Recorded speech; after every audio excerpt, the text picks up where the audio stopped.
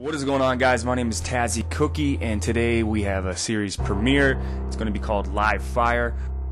I'm going to get uh, into the details about this series idea we have in mind here, but I have a co host I want to introduce first, so you can go ahead and introduce yourself. What's up, YouTube? My name is Kinetik, and I'm going to be co hosting this series. I have a YouTube channel that will be in the description, and I post a lot of Battlefield and a little bit of other games. So, uh, All right. Yeah, let's do this. All right, so let me give a quick, detailed uh, description of what we're going to do with the series called Live Fire. It's where myself and Kinetik get together and discuss certain topics that have been brought up to our det- uh, attention through either gaming or also our followers. So make sure to tweet us topic ideas for the following episode, and we're basically just going to go in and give our opinions 100%, you know, everything thrown off the table and our complete honest opinion on any given topic for each and uh, every episode in the future. Today's topic just happens to be Battlefield 3. Now, what we're going to do is we're basically just going to talk about it and give our overall experience of the whole entire game itself. And I'm going to let you go ahead, Kinetik, and basically start us off with uh, your opinions and some thoughts. I know you released a video not too long ago, and uh, you have some mixed emotions about the game, so I'm going to let you go ahead and take this one. Alright, well, uh, basically, even though I love Battlefield, uh, this game, and I know a lot of other people feel the same way as I do, although about different things within the game. This game for me was a mixed bag. I'm not necessarily upset about the fact that it didn't replicate BF2 100%. percent I also don't expect it to be exactly the same as Bad Company 2 because that part of the Battlefield series is completely separate. It's a whole different game. Um, I have a lot of issues with balance in terms of uh, skill-based gameplay, um, map making, what Dice has done in terms of patching the game, which is partly EA's fault. Yeah, right. So I mean, like, And- basically, just to cut Yeah. in right quick is. I, I kind of have the same feeling as well. Um, when the game was first released, sh- sure, there's a few issues with it, but I found that the community kind of uh, complained to the point where the DICE had to be like, okay, well, we have to do something about this weapon and this weapon. Uh, so they basically patched some weapons that they didn't really need to be patched, in my opinion.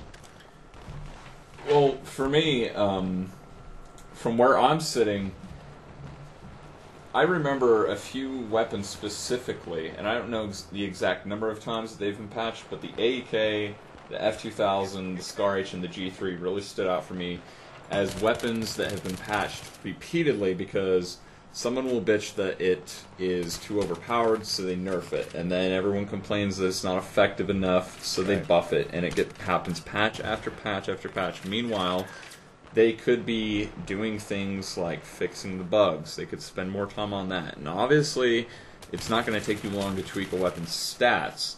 Um, definitely not as much time as it would take to recode something or fix a bug. But it feels to me like they wasted too much time doing pointless shit and not enough time actually fixing the game. I mean, how long did we have to put up with people running around with the M26 Dart because Yeah. they wouldn't just release a patch? EA has enough money to do that. It's not a problem for EA. DICE just has to code it correctly, and they have nothing to worry about. But EA's too cheap to do it. And if DICE wasn't fiddling with a bunch of pointless stuff, then they might not have screwed up that one line of code that says M26 can now do 10,000 damage if you attach a heavy barrel to your assault or yeah, As an heavy barrel and undersling to your assault rifle. Yeah. Exactly. So it makes no sense some of the things that they do, and it, it almost feels like they're a bunch of amateurs going into their engine and the way they've programmed the game and changing stuff without knowing what it actually does, and that's where the problems pop up Mm-hmm. and bugs get created that did not exist before, and it screws the whole game up. So, I mean, do you think it gets to a point where um, a developer, you know, hears feedback from the community when they've already released a video game, but they come to the point where they're like, you know what, the video game's already fucking released. I don't really have time to sit back and fix this one weapon that you guys are all bitching about because we're working on a next, uh, you know, next video game in the series. Do you think they kind of have that mind frame at- to a degree? Well, I don't expect them to keep changing weapons. I think that the weapon balance at the moment isn't perfect. Um, there are a lot of issues that I have with the damage models on certain guns, but it's about as close as we're going to get to perfect. I mean, they did nerf the M16 slightly. I don't think they should have changed the M416 in that same patch, but I mean, they have made changes to certain guns that they did need to. Um, what all I want them to do is stop patching it only when DLC comes out, and then we could have actually had a real patch that would have lasted us a few months till BF4 comes out that would have fixed the bugs. I mean, there's stuff that is happening, like running into a train in thin air and just randomly dying, or getting thrown into walls that has not been patched. Mm-hmm. They have obviously made no effort to patch it Yeah. and uh, I just it almost feels like the game's being run by a bunch of amateurs at a certain point. Yeah, it does to a point. You're right, though. Um, I guess I guess my view on the whole game and, and as a whole, um, overall, overall, I think I, I enjoyed it. Um, the campaign was fun, in my opinion, uh, but online, if we're just focusing online for the first uh, live fire episode here, um, I, I, agree. You know, I found that there are some things that need to be touched and, and fixed, and they just basically ignored it. And then they made a DLC content, and they made another one, and just completely someone dropped the ball to, altogether. Um, one thing that really pisses me off the most, though, about the game is the net coding. What do you think about that? I mean, are you? I I just fucking hate it when I'm going around a corner and, and I die when I'm already around the corner. I, I understand. I used to be on console, but obviously I'm, P- I'm on PC now. I understand a 64-man server can have an effect on netcoding and, and lag and, and compensation like that. Does that piss you off, or is it just me? Well, at this rate, we're actually going to have working netcode by the time Battlefield 6 comes out because they have made progress. it's not as it's not as bad as it was in BC2 where you're here where you uh, hear the guy's head ding and nothing happens. Um, where you see blood, nothing happens. That happens a lot less frequently in this game, but the main problem that they've had in this game is people registering shots when they shouldn't, or you don't register shots when you should. They need to fix that so that hitboxes actually function correctly. People aren't on your screen when they've actually disappeared around a Right, wall exactly. and are 10 feet around the wall. And uh, it's especially a problem in competitive gameplay and uh, which is something that I'm especially concerned about as a competitive gamer, um, because it not only screws up matches between teams that are in the same country or the same area, but you also cannot have the community grow as a whole because it's very challenging to have North American teams play teams from Europe it's extremely challenging to have teams from South America, especially there are a lot of teams from Brazil that do play uh, against North American teams. And let me tell you, the North American teams despise Brazilian players because they have ridiculously high ping, and that's annoying on any game, but especially on Battlefield 3, where ping means absolutely jack shit, it can completely screw up a match because you're getting shot around corners every game. They're lagging like a boss Jumping all through every over. bullet you shoot at them. Yeah. Exactly.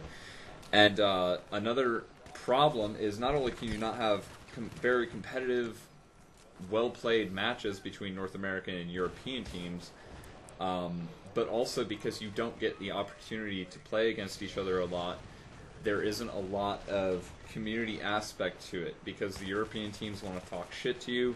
North American teams get mad and talk shit back because there has never been a point where a European team, such as Eyeballers, can play a North American team such as Nexus or Rival on an even playing field. There is no huge tournament that is going to sponsor, uh, be, have sponsors, and these teams can have the money to fly to a land tournament and play each other on the same connection. And um, it's it's very challenging because of this to have an even playing field where you have the same ping and play against Right. each other. And it's even frustrating trying to play something like ESL Versus because as soon as they find out you're American, they want to put in a no result. They don't want to play the match, and if they do play the match, they're going to sh- uh, talk shit to you the whole time.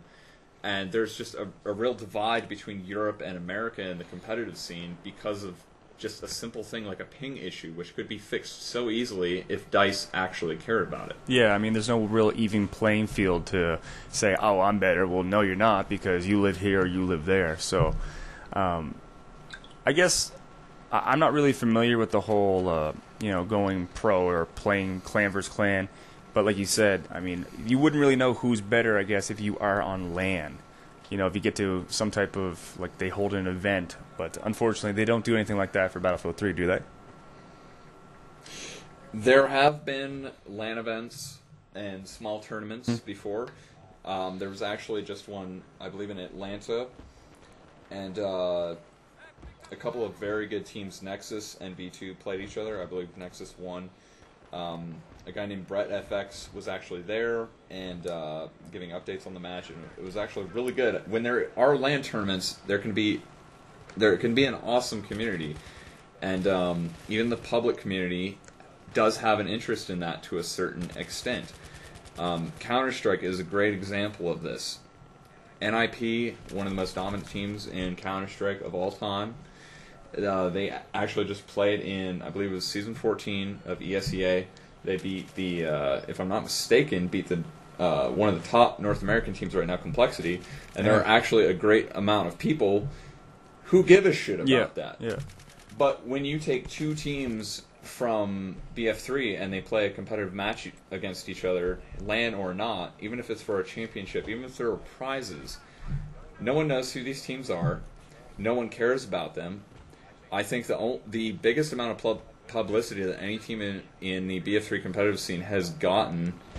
Uh, there are actually two teams. One would be Punchline, which is Jika's team, and that's because the guy has insane aim and uh, has gotten a quite a good amount of recognition for it. Um, actually, I'd have to say there are three teams. The other team would have to be Nexus, and unfortunately, a lot of their recognition has simply come from the fact that they were in a match where Rival got DDoS, and Nexus got a lot of blame for that. And of course, the number one team that people know is Rival, and that is, I mean, they did have a great amount of recognition before, but the reason why they got a lot of their recognition was from X Factor being on the team, despite the fact that X Factor was not a huge contributor to that team in the 5v5 int- infantry category. Um, just simply because of the fact that he had rival in his name, they got a huge amount of recognition, and it's it's kind of annoying to me as a competitive player that the only real recognition that people can get is from someone on the team posting pub videos on YouTube and getting a great amount of subscribers. People don't actually care about the competitive scene. They care about the one guy on the team who has a, hundred thousand subscribers and makes money off YouTube. Yeah, it's like they're almost using him as like his front boy, like the poster boy for their clan or their team, I should say. Um, but I guess my overall opinion about the community in Battlefield 3 is um, it's okay, but I guess it's hard. It's hard to explain. Like I love it at times, but I also hate it other times. I find that there's a lot of complaining that goes on. Like if you jump online, you'll see people say, "Oh my God, I just got killed by the AEK," and they're like, "They're the gay EK." Like, why are you using the gay EK and all this shit? And uh, I, I find that it seems like there's a lot more Call of Duty fanboys jumping over to Battlefield 3, and they're basically just playing the game style of Call of Duty and trying to bring it to Battlefield 3, and it's not really working out in their favor. So then they try to like compensate by complaining about weapons or how they died. I don't know. That's just me. I don't know. Yeah. Well, from where I'm standing on this, you know, from my point of view, it's not even all Call of Duty players. I know that there are a lot of COD players that have come over to this series, but I find that a lot of, if not half or most of the complaining actually comes from Battlefield veterans themselves, which is what annoys me because I'm not one of the people who's just like, oh, blame it on COD. The game got popular and it's invaded by COD players. I find that a lot of it is actually from people who have played since Battlefield 2 or earlier.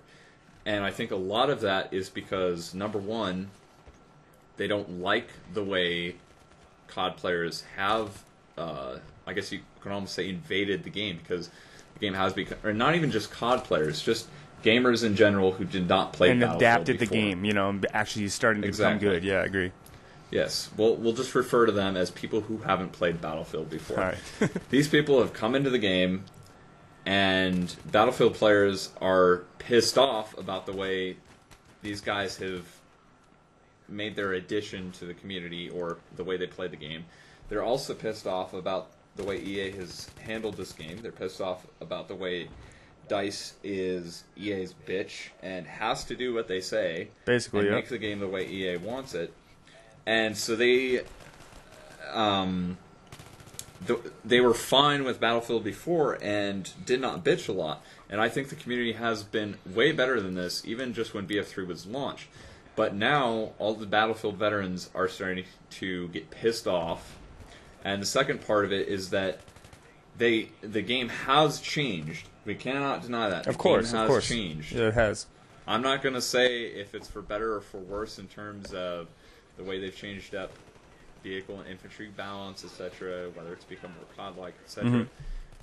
But they cannot adapt to the game, and because it's not the Battlefield 2 clone with better graphics that they wanted, they don't know how to handle it. And so, I mean, perfect example of this would be the fact that a lot of people that have banned me from their servers or accused me of using macros in my videos or hacking. The, these are people who have played Battlefield since 1942. Right. They're avid Battlefield fans, and they are not used to the way the game has changed. The pace has picked up. They can't It's adapt to the- yeah. vehicles anymore. Exactly. They can't adapt to the And- change. You're right. Yeah. Exactly. And in addition to the fact that they just simply can't handle it, and so they're getting stomped when they might not have before, they also have a false sense of superiority because of how far back they've gone in the Battlefield uh, series. So if they think you're hacking, they will simply say, I know a hack when I see one because I've been playing Battlefield for so long. I've been playing Battlefield since 1942 as well. I've played every single installment of Battlefield that has come to PC. So yeah, I'm not. it's a little bit. Of, it's a little bit of both. Uh, I guess both contributions. It, it's the, the the new people who are coming into the series and, and are trying to adapt and overcome, and, and they're actually starting to play well. But at the same spectrum, it's also you know the the hardcore Battlefield 3 vets that are also contributing to the fire. Is that that's what I'm kind of getting at here. Um, what I what I Exactly. told from you, and looking Yeah, at it now, I I, guess, 100% yeah, I agree, agree with that. with you. No, I agree with that. Um, yeah, that makes a lot of sense. Uh, but let's okay. So let me just get back on topic here. Um, so my overall opinion, once again, is that I like it. I'm looking forward to Battlefield 4. I, I hope they do make the necessary changes um, that they should have to make, and hopefully they listen to the community uh, because we're obviously telling them what what to do and stuff like that. Um, but I want to get back to uh, the time frame here, and we have something that we want to express to you guys and give you guys um, an opinion of what we're going to do. It's an idea for the series. It's called Pull the Pin. Now, basically, what this means is that I'm going to come up with a- an- a question with a question to ask Kinetik, and he does the same thing for me. And we have 30 seconds to give our opinion on that topic, and then you know the grenade ex- grenade explodes.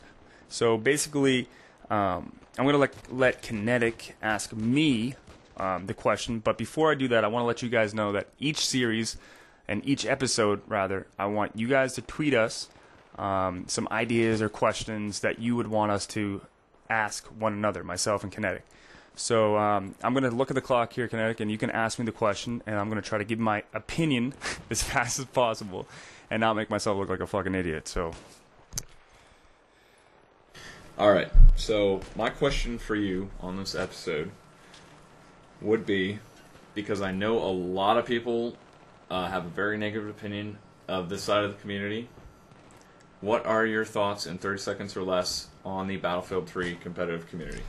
My opinions on the Battlefield 3 competitive community would definitely be a positive but a negative, like love hate relationship.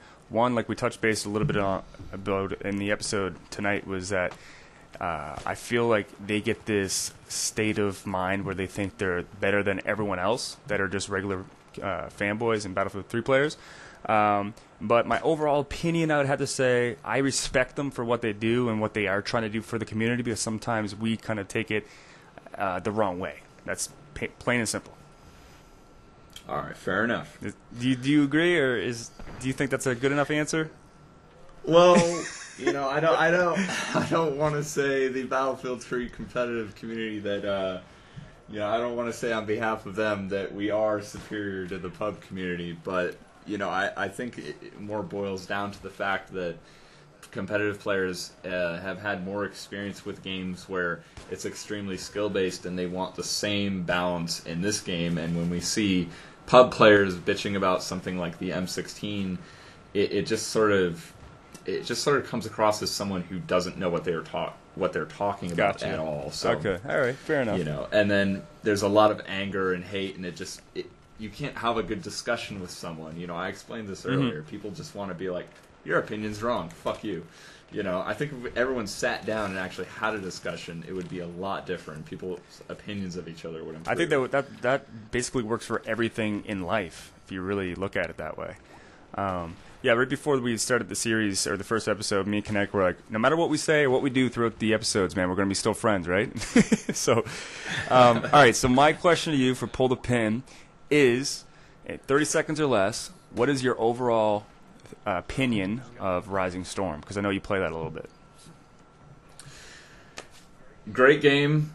A few bugs that uh, you know every game has bugs, but the difference between this game and something like Battlefield is I feel like Tripwire actually has the ability and will actually listen to the community to work towards improving the game and fixing the bugs because not only do are they a great developer in my opinion, but they also handle their own games. They're not someone's bitch and they're not the slave of a big corporation. Gameplay is awesome. If you guys have not checked it out, you definitely should go check it out on Steam, Rising Storm, and download that. Boom. All right, so there you go. The Kinetics answer to Rising Storm. I would have to agree with you, dude. I think it's a great game. Um, it's a very realistic type of video game. If you're not used to that type of uh, you know genre or hardcore mode, a lot of people dislike hardcore mode for no particular reason. Battlefield 3, in my opinion, uh, you have the advantage of killing your enemy with one shot, and they also have the advantages as well. So I don't know why people hate on that, um, but I really do like Rising Storm. Uh, I think it's great.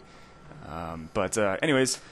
Also, another thing that we're going to do in Live Fire is a community spotlight. So each week we're going to try to take, uh, you know, someone's video submission or even a link or, or someone leaving us a message or something, checking out someone's video that they put a lot of effort into, and then we're going to put it up on the screen and talk about it a little bit and give our uh, our opinions about it.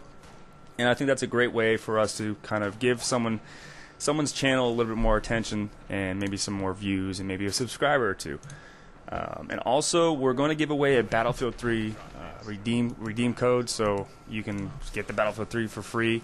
And all you got to do is tweet me or Kinetik and say hashtag live fire, and um, we're going to put those names in a hat, and we're going to do a random draw. So that's basically it for the first episode of Live Fire. I hope you guys enjoy it. We we have a lot of things that are on the board. We're going to try to get through. We're going to have some guest hosts, some maybe some guest appearances, maybe Sentinel, uh, Mr. Assault. Who knows? You know, maybe even Thready. But I don't want to go. I don't want to reach too far because we want to start from the bottom. You know what I'm saying? Um, but if you don't have anything else to say, Kinetik, I think we can end it. Yeah, definitely. Um, if you guys want to, leave a comment telling me how much of a fucking idiot COD fanboy I am for uh, having any negative opinions on Battlefield. Yeah. That's totally cool. You're entitled to your opinion, just like me. And uh, I'll look forward to reading those comments. Also, um, we're thinking about doing every other episode on each person's channel. So, for example, next week would be on my channel. That way, we can uh, get both of our subscriber bases involved in the show and make sure that it actually gets some publicity and gets noticed, and it'll open it up for uh, a lot more people to enjoy it. Hell Um, yeah. so, yeah. Hell yeah. That also rem- reminded me um, leave a comment below with the topic you want us to talk about next week. So, um, yeah, I'm looking forward to it and hope you guys enjoyed this week's episode of Live Fire. I'm Tazzy Cookie and I'm signing out.